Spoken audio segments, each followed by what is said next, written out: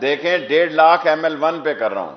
اور جو میں نے نعرہ لگایا ہے، میں دس ہزار لوگوں کو روزگار دینے کے لیے دس ہزار اور دینا چاہتا ہوں۔ لیکن اس ملک میں کرپشن ایسی ہو گئی ہے کہ اس کو فیئر رکھنا بڑا ضروری ہے۔ میں نے پچھلی دفعہ آپ کو بتایا کہ ہم نے سنگل نہیں ڈبل ٹینڈر کینسل کر دی ہیں۔ آج ہم نے پرچیز کمیٹی اور ٹیکنیکل کمیٹی سی او صاحب اور چیئرمین نئی اناؤنس کریں گے، کیونکہ میں اس سے اعتبار کھو بیٹھا ہوں۔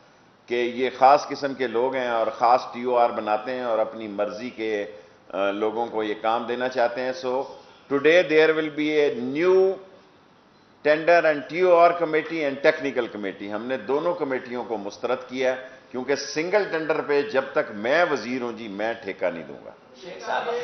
آپ کا ایک سوال ہو گیا۔ بات ہو رہی ہے، سکھا ڈویژن میں گوشت بخش مہر کے دور میں ٹوٹل چٹوں پہ بھرتیاں ہوئی ہوئی ہیں۔ اس کے حوالے سے ڈیزل کی قیمتوں کو ہم نے سٹڈی کیا ہے، میں یہ چاہتا ہوں روزے اور عید غریب کی اچھی گزرے۔ اس کے بعد فیصلہ۔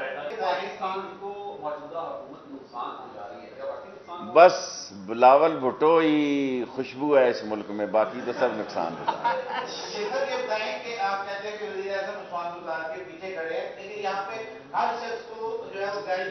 صورتحال ہے آج دیکھیں میں آپ کو کبھی غلط خبر نہیں دوں گا لاہور والوں یاد رکھنا۔ میں آپ کو یہ بتا رہا ہوں کہ عمران خان عثمان بزدار کے پیچھے کھڑا ہے۔ اور میں ابھی گورنر کو ملنے جا رہا ہوں اپنی یونیورسٹی کا آرڈیننس لگوانے کے لیے۔ آرڈیننس جاری کر دیں سرور صاحب۔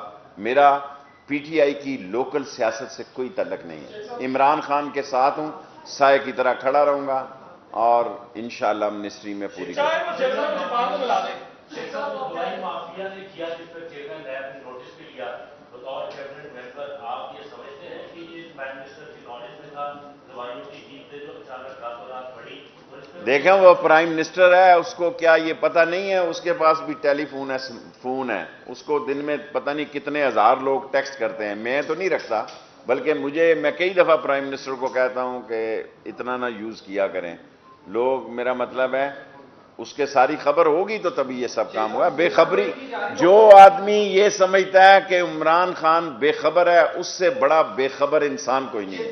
اور عمران خان کا نام پی ٹی آئی ہے عمران خان کا نام پرائم منسٹر ہے عمران خان کا نام سارے مسئلے ہیں۔ اور اگر کوئی غلط فہمی میں ہے تو میرا خیال ہے اس کو دور کر لیں۔